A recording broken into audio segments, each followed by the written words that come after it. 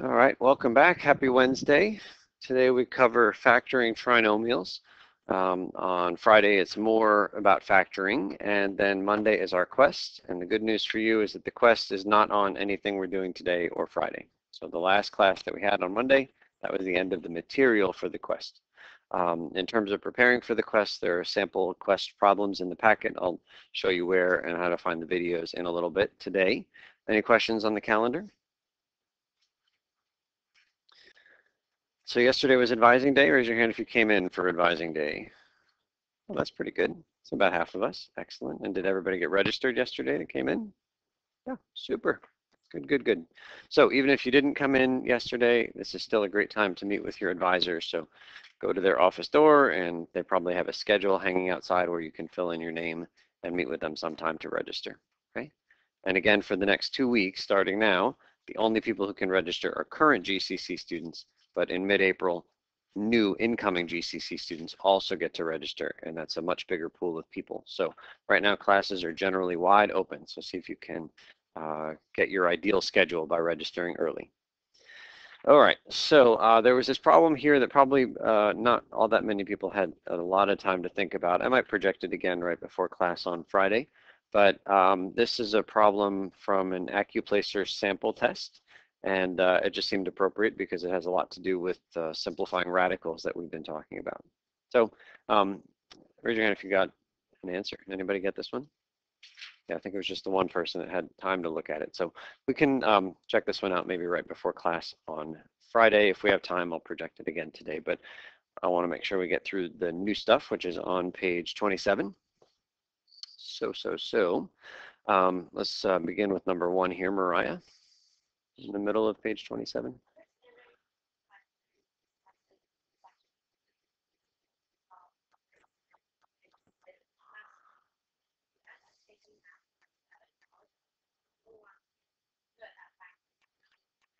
Okay, great. Uh, number two, we'll go to Abby. Polynomials.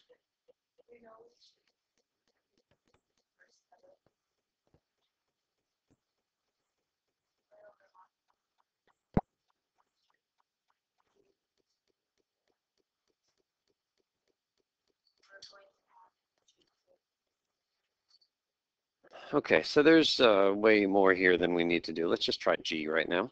So go ahead and multiply those two things together, either the lobster claw or the box method.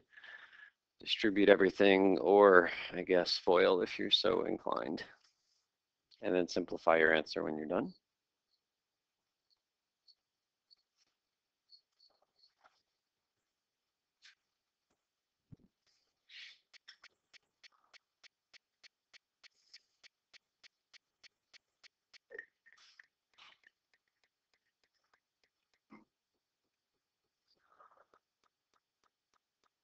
We doing on this? A lot of people are still writing. What are we writing? I guess if you draw a box, it takes a while to, to get the thing set up. But ultimately, we need to get to x squared plus 7x minus 44. Any questions on that? Anybody get anything different? Yes, what did we do? What did we get?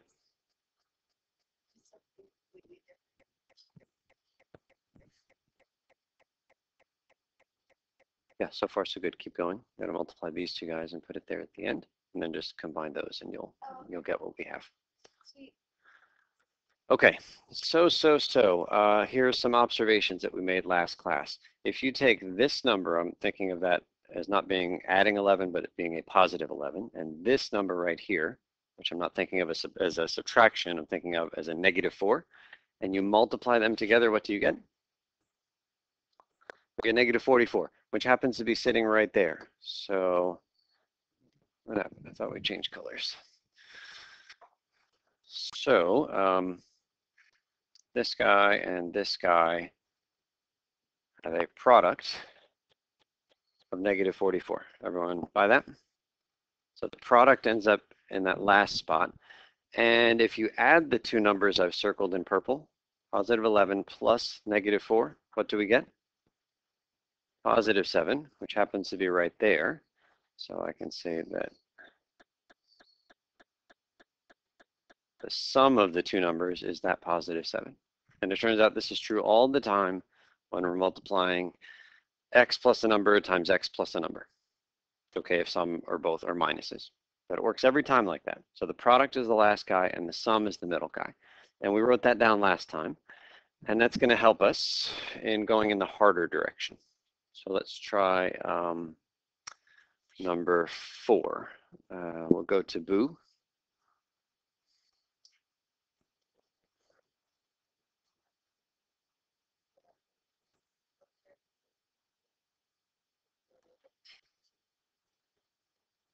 Okay, so the goal is to take that thing and figure out what it came from. Two sets of parentheses that got multiplied together, and we get x squared plus 9x plus 14. Megan, number five.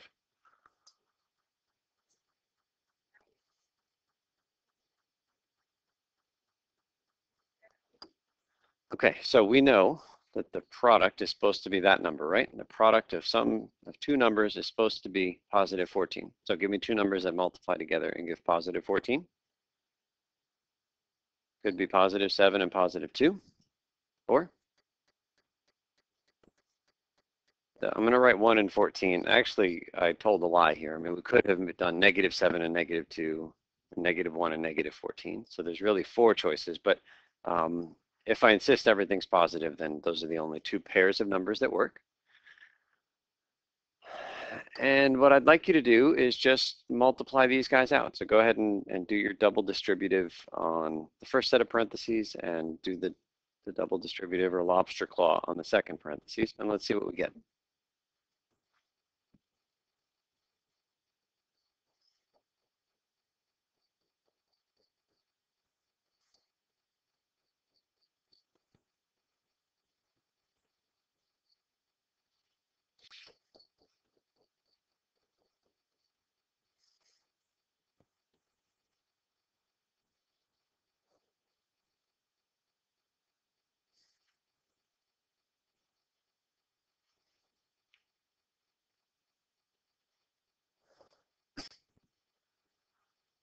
Okay, so for the first one, I have x squared plus 9x plus 14. And the second one, x squared plus 15x plus 14. Is that okay? Questions on getting those? So which was the one that worked, meaning which was the one that gave us this guy?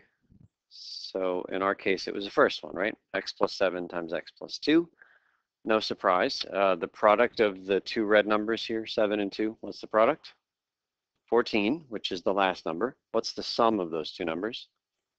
9, which is that middle number. So that's the winner. And this is the harder direction. Um, okay, so let's go to the next page. And we'll take a look at number 6 for Kyle.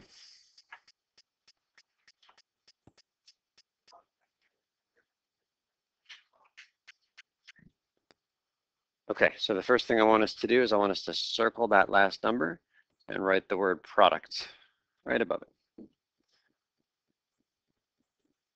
And this is something that with practice you'll get the hang of, but at the moment, basically I'm just asking you to memorize. That last number is always supposed to be the product. Every single time we do this, that last number is the product. So we are thinking about numbers whose product is 12. Well, there are three different sets of numbers, again, assuming everything's positive. So uh, somebody tell me one pair of numbers that multiply to 12? 1 and 12. That's one possibility. Somebody else give me a different pair of numbers. 3 and 4. Somebody else a different pair of numbers. 2 and 6. Here are the possibilities, yes? So we factor all uh, factor the number 12 in as many ways as possible. Now you could go through and distribute or lobster claw or FOIL or whatever you do and just do each one until you get the one that works, meaning gives us the 13x in the middle. But we remember now that uh, this 13 is always supposed to be sum of the two numbers. The end is the product, the middle guy is the sum. So just looking at these numbers I've written in blue here, what's the sum of these two numbers? 13, sum of these two, 7. These two gives me 8, which is the one that we wanted. The first one, this 13, because I wanted it to be x squared plus 13x plus 12. So that's it. That's your winner.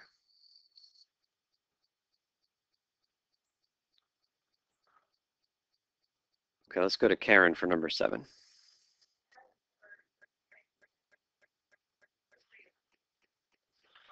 Okay, so the one that we just did was factoring x squared plus 13x plus 12. And here we were looking for two numbers, the kinds of numbers like in blue up here, whose product was 12 and whose sum was 13. That's what it says there, right? Product is 12, sum is 13. Here's a different example, the first one we did. To factor x squared plus 9x plus 14, we want two numbers whose product is what? 14, and whose sum is 9. Now, notice that I'm not saying whose sum is 9 and whose product is 14, which is true. I'm always starting at the end there because I don't want you to focus on numbers that have a certain sum. I want you to start by thinking about numbers that have a product. If I just say, give me two numbers that add up to 9, 1 and 8, 2 and 7, 3 and 5, 3 and 6, 4 and 5, there's a lot of numbers that add up to 9. And if we're allowed to have negative numbers, then I could say like 11 and negative 2, right? There's so many numbers that add up to 9. But how many nice numbers multiply to 14? Not many, right? Do you understand why I'm, I'm putting the focus over there? Like you could do it left to right, that's quite natural, but it's not the right way to go. It's not the best way to go. You want to focus on the product, which is sitting at the end, and then find the one that has the right sum. So let's fill in the blanks here. To factor x squared plus 12x plus 20, we seek two numbers whose product is, fill in a number right there in that first blank, and whose sum is, fill in another number.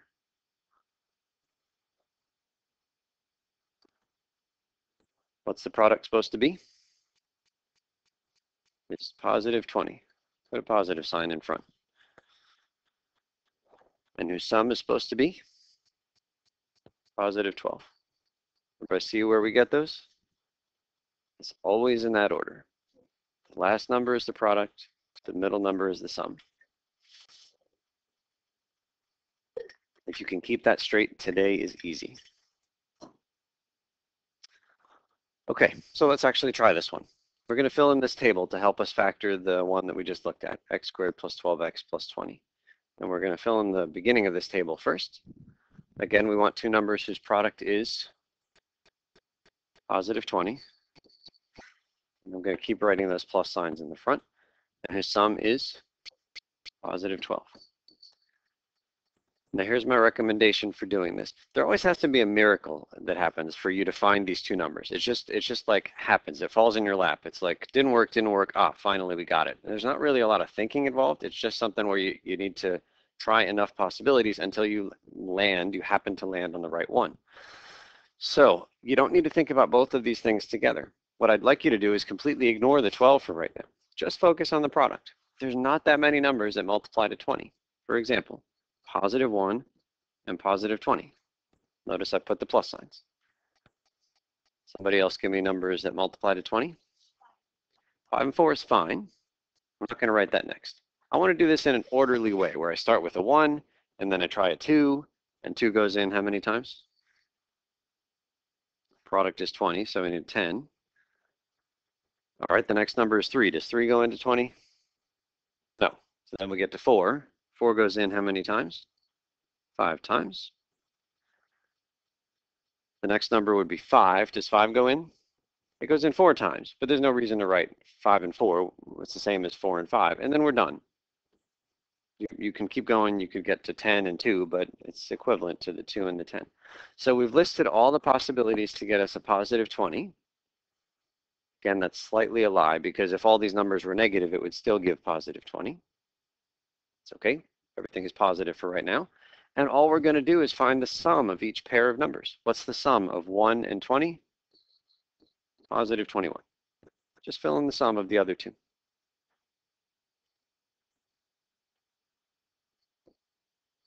That's positive 12. That's positive 9. Yurka, did you have a question?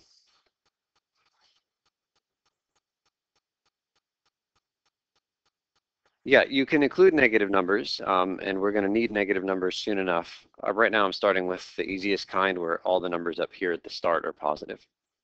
Yeah. Okay, so there's our table. We needed numbers whose sum was positive 12. we found those numbers right here, right? That was the one that gave us positive 12 in the middle. And so that means that x squared plus 12x plus 20, I'm just recopying the original, it's exactly the same as a product of two things. I always start with two empty parentheses. And then I put x, and I put x.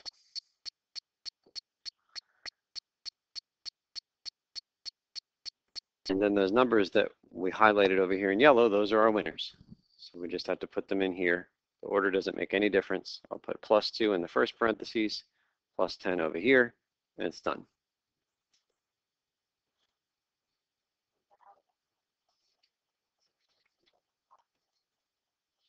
Um, okay, so uh, in terms of the quest, so these guys are not going to be on Monday's quest, just repeating that, right? But it will be on the next one. Um, uh, ultimately, you're going to need to write this. I, I, think it'll just be like a blank line that says put your answer in the blank line. Okay, any questions about the process? All right, so here's the deal. Do I need you on a quest to make this big table? No, I just need you to get to x plus 2 times x plus 10.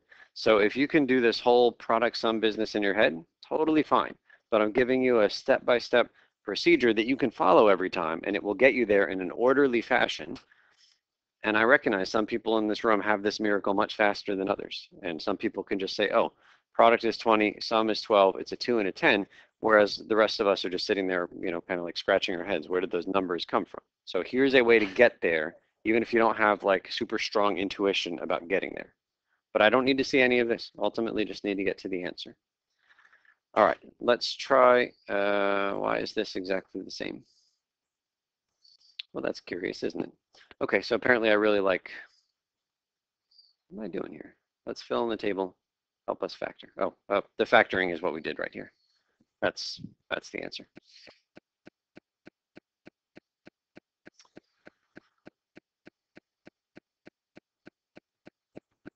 Okay, and then uh, here in number nine, it says to help you remember this product and sum stuff, think of writing a PS at the bottom of a letter. Not that there's a lot of letter writing happening these days, but PS goes at the end, right?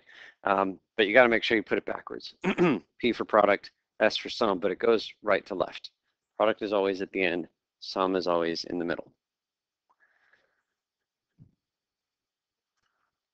Okay, so there are three examples here. I don't think we need to do all three. Let's just try part B. So even if you're really good at factoring, can you um, humor me and fill in a table here? We want two numbers whose product is what? 24, and include that positive sign. And we want the sum to be positive 11. And then we start listing. Megan, is that all right? Product at the end, sum in the middle. Um, so we want two numbers whose product is 24. And again, I encourage you to list them in an orderly fashion, starting with one. One times what? Yeah, so positive one times positive 24. That's the first way we can get 24. Next one I would try is two. Does two go into 24? 12 times. And then keep going. Does three go in? Does four go in? Does five go in? And you just go all the way down until you end up repeating something you've already written, and then you can stop. You don't have to ever write the same numbers in the reverse order.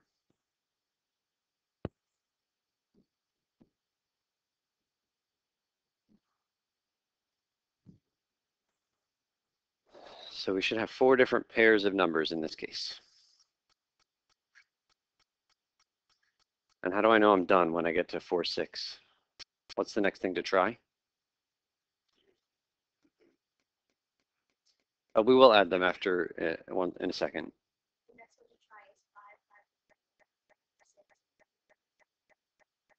Everybody understand that? Five is the next number, doesn't go in.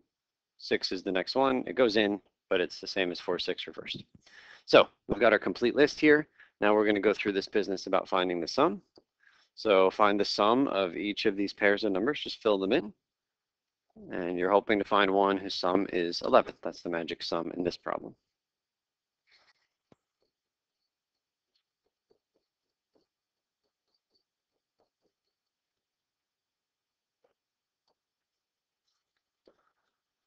What are the numbers that give us that magic 11 in this case? Is the positive 3 and the positive 8. So the last thing to do, start with our empty shell, two parentheses every time. X is in the front every time. And then the numbers that worked, the two numbers that gave us the product and the sum that we wanted. So plus 3 here, plus 8 here. Totally fine to reverse those, and we have our answer.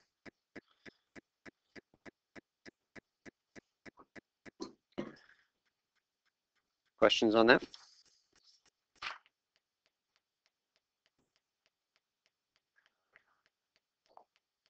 Okay, so let's pause for just a minute about this product sum business. Uh, two quick announcements. So first one, actually they're both about the quest that's coming up. So again, Monday is our quest. Uh, the first announcement, this quest is non-calculator. The entire quest is non-calculator, which means that um, since you'll be taking the quest in this room, probably going to want to look up at the perfect cubes that are over here in green and the perfect squares that are in uh, yellow, and or use the perfect powers reference sheet, which you can bring in to help you on the quest, all right?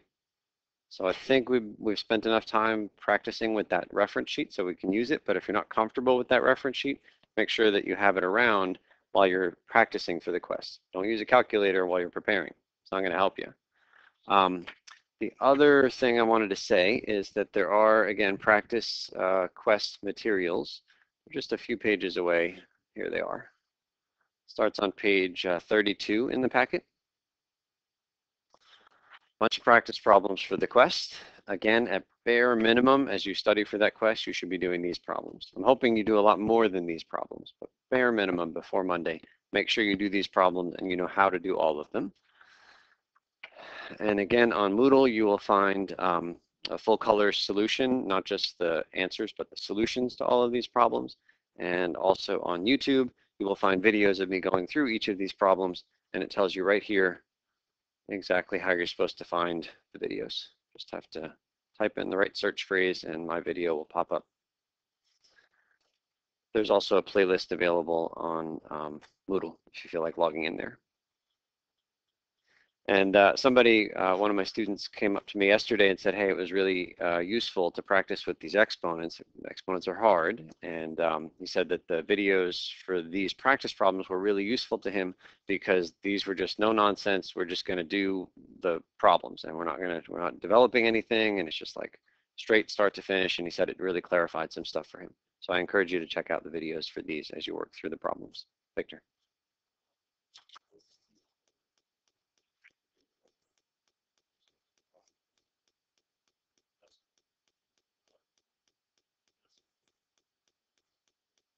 Yes.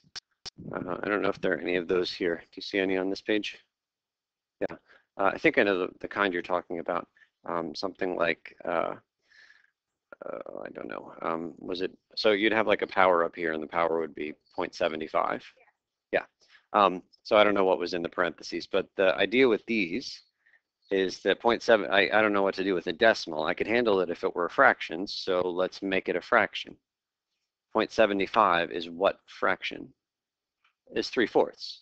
So you might just happen to know that. This is another one of those miracle things. You can just know it's 3 fourths. And then as soon as it's a fraction, now we're in familiar territory. Fraction power to me means radical. Parentheses is here. Where does the 3 go? It's, it's, it's the exponent. You could either put it inside or outside. It's up to you. And then the 4? Is the index. And yeah, 0.04. So something like this. Well, uh, there's a process, and it might not be as familiar, but there is a process to make 0.04 into a fraction. Like if you were to read this thing out loud, but don't say it is 0.04. Can anybody read this number to me? That's four somethings. It's four hundredths. Do we know that? This first slot right here is called what? Tenths, and the next slot is the hundredths, and the next one is the thousandths. So if I hear you say four one hundredths, I immediately visualize a fraction where you're saying four pieces of a hundred, four hundredths. That's the fraction. So you can convert any decimal into a fraction by doing this process. Just read the thing out loud, and then you know you'd reduce this. So this is 1 over 25, and that is the 25th root of something. Yeah, that's a good question because we didn't do any uh, decimal ones, but that's that's the idea. Thank you, Victor. Okay, so that's the stuff about the quest. Let's come back to our factoring business. So we're here at the top of page 29. Okay, and we'll go to Yurka for number 11.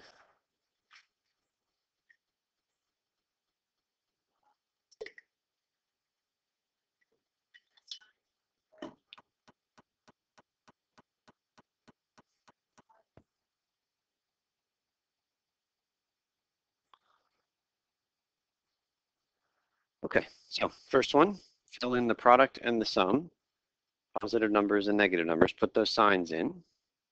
What's the product in this case? Positive 4. And the sum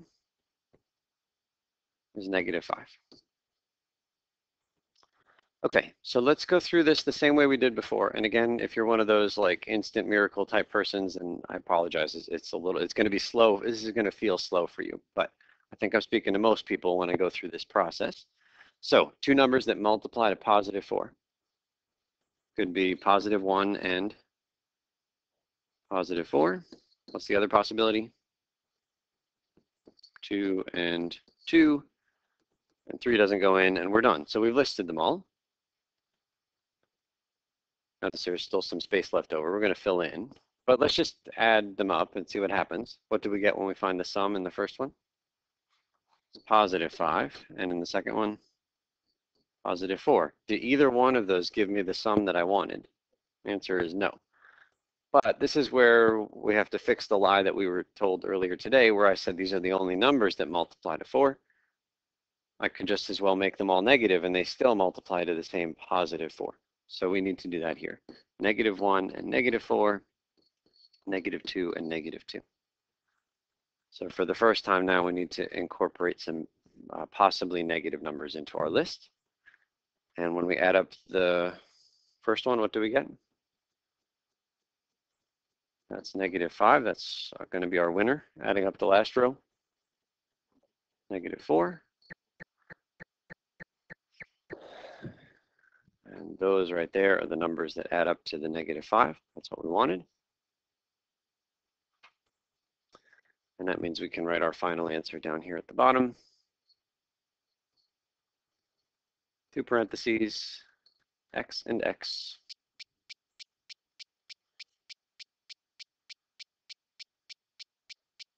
And then what numbers go in? Negative 1 and negative 4.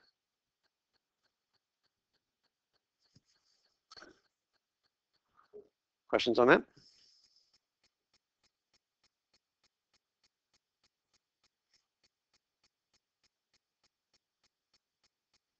Okay, and just one observation, if, um, if you're on board with all this, here's something that's a little bit more advanced. If you get positive 5 and you really wanted negative 5, then the immediate thing to do is just change the signs on both numbers over here. So you don't have to go through this whole process. If you stumble on the right answer, but it's the wrong sign, positive 5, but we want a negative 5, you can stop the kind of trial and error process, the, the complete listing, and just say, oh, the right answer is positive 1 and positive 4, but change both those signs. Negative 1 and negative 4. That's our answer. Okay, let's take a look at part B. Uh, product equals negative 8. Sum equals positive 2.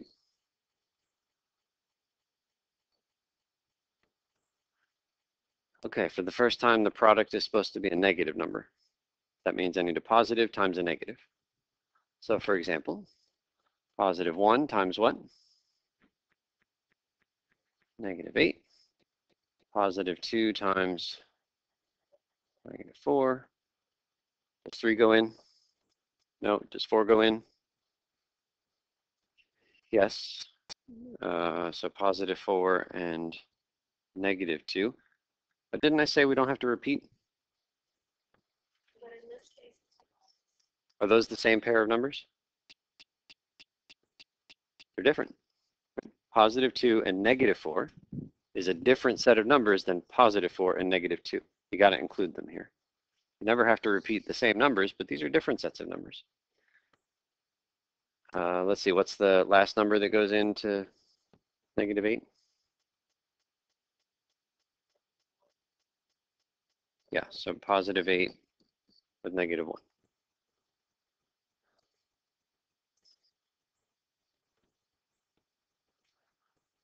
Okay, I think that's our whole list. So let's just start adding them up and see what happens. So when we add the first row, negative 7, second row, negative 2, third row, 2, which is positive 2, and the last row, positive 7. What were we hoping for? Positive 2, which we found right here. That's our positive 2.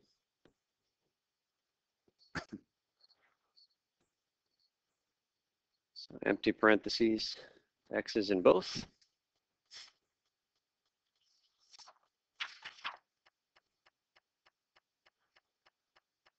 And what are the two numbers that we put in? Negative 2 and positive 4 in either order. It's fine.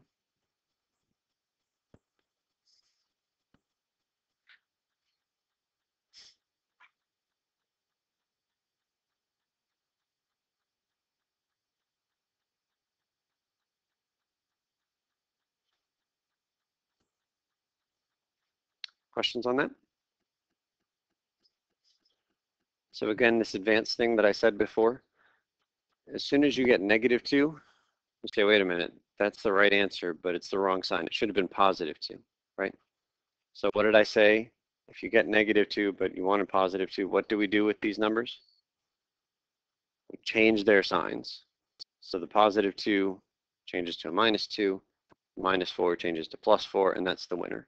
So again, the way that I do this, not the way that I'm teaching you to do this, but the way that I do this is I list my numbers, but as soon as I list a pair of numbers, I immediately do the sum, hoping that I'll just get lucky sooner rather than later.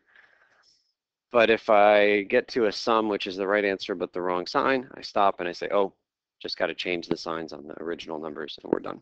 Questions on this one? Okay, um, so I think that's fine. We can skip over part C. Let's take a look at number 12. We'll go up here to Lauren.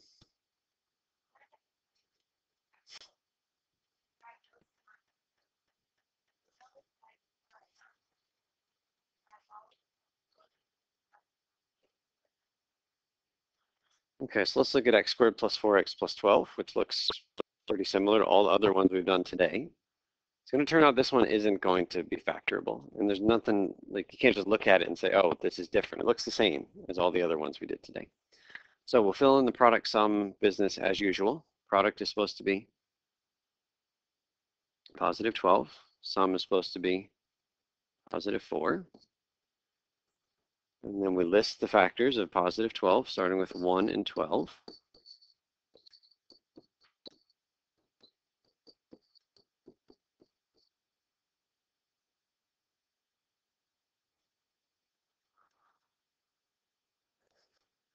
And then we calculate the sum in all three rows.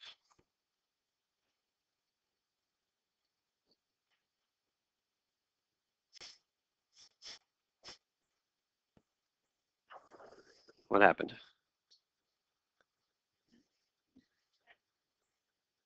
None of them added up to four. We didn't do anything wrong. It's just that the, the potential pairs there were these three. None of them happened to add up to four. So what does that mean? Just means the thing isn't factorable.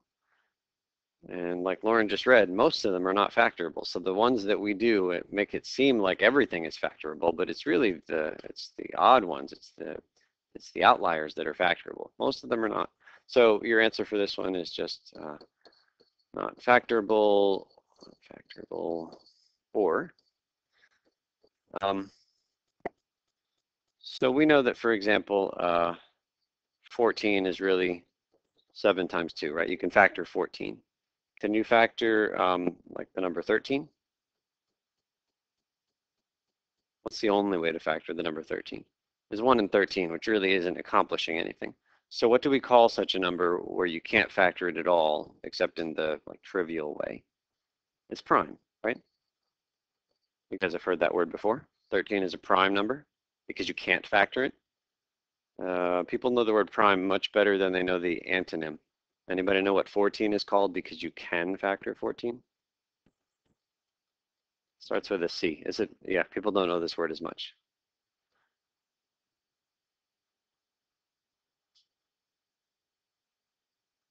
We'll let Morgan think about it for just a moment. Um, so then uh, thinking back to our x squared plus 4x plus 12, turns out you can't factor it. What do we call something you can't factor? Yes, but what did we call 13? Because we couldn't factor it. We call it prime. So just as well, we can use exactly the same vocabulary to say that uh, this thing up here is prime. You just can't factor it. Composite. So 14 is called composite. Composite. Anybody know this guy? Close. The thinker. Anybody know who made the thinker? Apparently it's some company in China, but uh, the original sculptor was Rodin made the thinker. So we'll uh, hear for her accomplishment with coming up with the word composite. You can watch over the thinker today. Okay, um, so uh, just like we said down here, uh, we say that the thing is either not factorable or uh, prime. Either way is fine. Okay, so just some uh, general observations about these things. So now I'm looking at uh, like as, as general a thing as possible. ax squared plus bx plus c, where a, b, and c are just any old numbers. So first of all, if a is equal to 1, like every example we did today, every example we did today started x squared plus something or x squared minus something, but they were all 1x squared. If a is equal to 1, then we seek two numbers whose product is c and whose sum is b. Isn't that what we said? Product is that guy, sum is that guy. That's what we've done. If c is positive, that's this number at the end, there are two different ways to multiply a pair of numbers and get something positive. What kinds of numbers can you multiply and get a positive thing? Two positives or two negatives. So as soon as you have C being a positive number, then the two numbers that we seek are both the same sign as B. Whatever that sign is in the middle, you're looking for two numbers like that. Let's make that concrete by looking at uh, an example we've already done today. Um, this guy right here was a positive number. That little observation says that we are looking for two numbers that are the same sign as that one in the middle. So two positive numbers was supposed to be the final answer. Was it? They're here in blue, positive 2 and positive 10. If the last number is positive, like the plus 20, then the two numbers you're after are both the same sign, and they're the same sign as the middle number, positive 12 in this case. Uh, was that true down here in part B? Again, the last number was positive, so we want two numbers that are the same sign as the middle number, both positive in this case plus 3 and plus 8. Then we came into something with a negative, like part A here. The last number was what kind?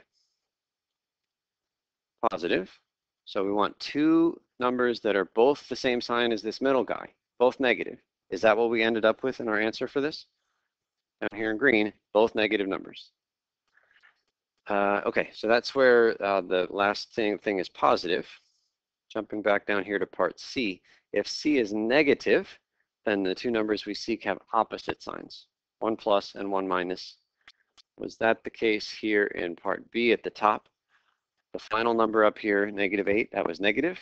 So we seek one positive number and one negative. In green, one positive, one negative. Okay, and then finally part D, if A is not one, for example, 3x squared plus something something, then good luck. They're a lot harder and we'll tackle them next class. Um, but for right now, we're always gonna have a one in the front. Those are the easier ones.